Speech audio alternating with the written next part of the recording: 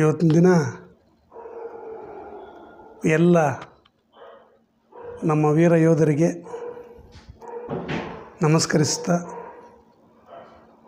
ನಮ್ಮ ದೇಶವನ್ನು ಕಾಪಾಡುತ್ತಿರುವ, ಕಾಯುತ್ತಿರುವ ಯೋಧರಿಗೆ ನಾನು ಶುಭಾಶಯಗಳನ್ನು ತಿಳಿಸುತ್ತಾ ಇವತ್ತು, ಇವತ್ತಿಗೆ ಏನು? ಜುಲೈ ಇಪ್ಪತ್ತಾರು, ಎರಡು ಸಾವಿರದ ಇಪ್ಪತ್ತೊಂದನೇ ಇಸ್ವಿ. ಇವತ್ತಿಗೆ ಕಾರ್ಗಿಲ್ ಯುದ್ಧ ಆಗಿ ಆ ಯುದ್ಧದ ವಿಜಯೋತ್ಸವ, ಯುದ್ಧದ ವಿಜಯವನ್ನು ಇವತ್ತಿನ ದಿನ ಇಪ್ಪತ್ತು ವರ್ಷ ಅಂತ ಹೇಳ್ಬೋದು. ನಮ್ಮ ದೇಶದ ಹಿತರಕ್ಷಣೆಯನ್ನು ಅನೇಕ ಯೋಧರು ಪ್ರಾಣ ಬಲಿತ್ಯಾಗಗಳನ್ನು ಕೊಟ್ಟು ತಮ್ಮ ಪ್ರಾಣವನ್ನು ಮುಡುಪಾಗಿಟ್ಟು ಈ ಒಂದು ದೇಶದ ಒಂದು ಹಿತದೃಷ್ಟಿಯನ್ನು ಅವರು ಸದಾ ಪಾಪ ಬಾರ್ಡರ್ಗಳಲ್ಲಿ ಕಾಯುತ್ತಾ ನಮ್ಮ ದೇಶವನ್ನು ಕಾಪಾಡುತ್ತಿರ್ತಾರೆ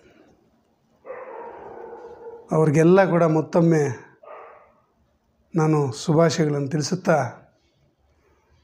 ಏನು ಈ ಭ್ರಷ್ಟ ಸರ್ಕಾರ, ಈ ಬಿ ಜೆ ಪಿ ಸರ್ಕಾರ ಏನಿದೆ?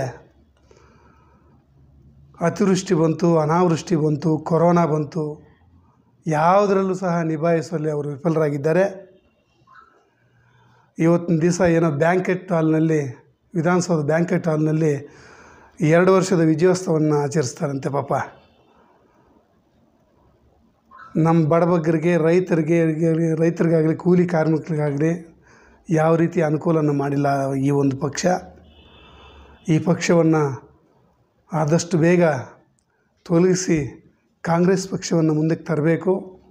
ಪ್ರತಿಯೊಬ್ಬ ಯುವ ನಾಯಕರಲ್ಲೂ ಸಹ, ಪ್ರತಿಯೊಬ್ಬ ಮಹಿಳೆಯರಲ್ಲೂ ಸಹ, ಪ್ರತಿಯೊಬ್ಬ ವಯಸ್ಕರಲ್ಲೂ ಸಹ, ಪ್ರತಿಯೊಬ್ಬ ದೇಶದ ನಾಗರಿಕರಲ್ಲೂ ಸಹ, ಹಿಂದೂ, ಮುಸ್ಲಿಂ, ಕ್ರೈಸ್ತ, ಜೈನರು, ಸರ್ವ ಜನಾಂಗದ ಧರ್ಮಗಳ, ಧರ್ಮಗಳದವರು ಈ ಒಂದು ಬಿ ಜೆ ಪಿ ಪಕ್ಷವನ್ನು ತೊಲಗಿಸ್ ತೊಲಗಿಸಬೇಕು, ಕಾಂಗ್ರೆಸ್ ಪಕ್ಷವನ್ನು ಕಟ್ಟಬೇಕು, ಕಾಂಗ್ರೆಸ್ ಪಕ್ಷಕ್ಕೆ ಮತವನ್ನು ಕೊಡಬೇಕು.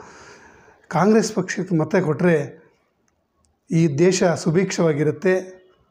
ಯಾವುದೇ ರೀತಿಯ ಸಮಸ್ಯೆಗಳು ಬರೋದಿಲ್ಲ ಈ ಒಂದು ನಿಟ್ಟಿನಲ್ಲಿ ಈ ಕಾರ್ಗಿಲ್ ವಿಜಯ ದಿವಸದ ಅಂಗವಾಗಿ